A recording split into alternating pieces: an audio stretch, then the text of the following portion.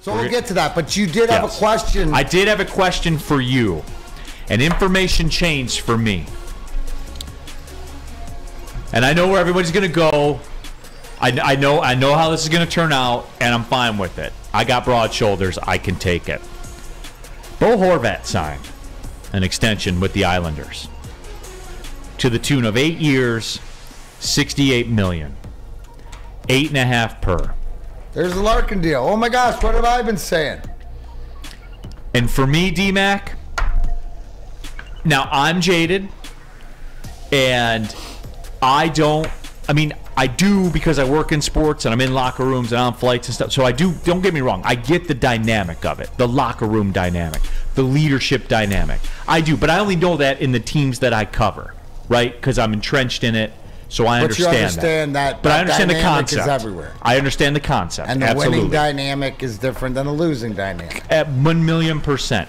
For me, though, and this is me, it can't be more than that for me.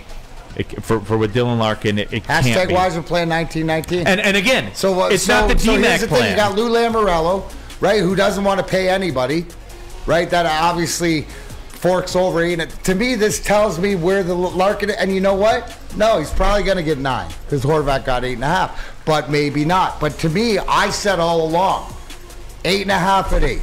Right, it's going to be. I just posted You said between eight and nine. If it's eight at eight and eight at nine, and here's the thing, I don't give a shit because I'm going to give him that extra five hundred a year or whatever because what he means to the commu- whatever like that or to be above. But I think the market, the new information should show you that whether you think Horvat got overpaid or not. Lou Lamoriello, who See, I don't think he did. regarded as one of the best GMs in the league, figured out a way, and that's your comparable. I throw comparables to Horvat, to Landeskog, to whatever. Those guys are all where the contract's signed in 2023 right now.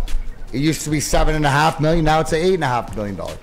And and for me, and, and look, I, I know that people are running to it. They're saying Horvat got overpaid. And I don't know, man. Like back to back 30 year goals seasons. He's got 31 goals in 49 games this year. I mean, like he's put it together. Is it safe to say he's put it together, DMAC? And there's a sample size. Consistency is something that's there, but I mean, what you're seeing out of Larkin is the consistency of the leadership of the point of game guy or whatever like that as your two C. Bo Horvat, what do you think he is? He ain't a one A to me. He's a two. In my mind, on a winner. Right? So they what the Barzals and all those guys. So I, I mean, it pretty much the writing's on the wall. It tells me exactly where Larkin's going to fit in, and maybe it'll be eight seven five, maybe it'll be eight two five, maybe it'll be eight five, maybe it'll be nine. To me, it's all the same. Right. I mean, why why is it Neal when we're talking about signing guys, free agents or whatever, and and when when people say, "Oh, we got to pay him three years or three million a year," and it says, "No, let's pay him four million a year," and there's no problem throwing out to somebody who hasn't been here and committed to know what you have. Right? To th- right, let's throw him an extra million or extra four million over the contract. Then you want a guy who's from here, lived here, shown you everything community wise and whatever, and you're gonna fight pennies over that? Why is it always the grass is greener and oh come on over here, we'll give you whatever you need instead of taking care of your own? Like I never I never got that. I never got that. When we're talking about free agents, everybody's always like, pay him 20 15 million. Who cares? We'll give him the guy that is it is that not always the case? Am I out of line? Am I wrong with that? No. But when it's not our guy, we're always willing to throw out all the money. But when he is our guy, we don't want to pay him. And, and I guess it comes And again, down to at the this. end of the day, no matter what, hashtag Yzerplan 1919. Here's the deal, though, DMAC. For me, this is what changes. In his last 119 games, he's got 62 goals. Horvat, I'm talking about. And he did it in Vancouver. Similar situation, right? Over the last couple of years to the Red Wings? Is that similar? Yeah, but he's also got Elias Pettersson, who's a 1A.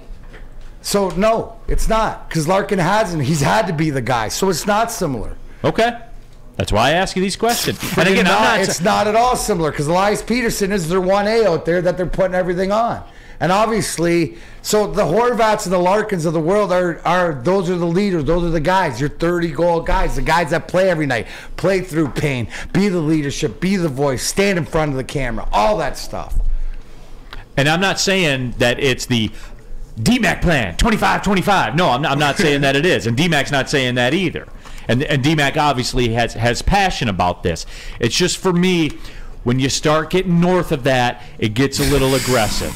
It gets a little aggressive. And I, and I understand the leadership component. I do. And I understand the local, you know, the local ties and all that kind of stuff.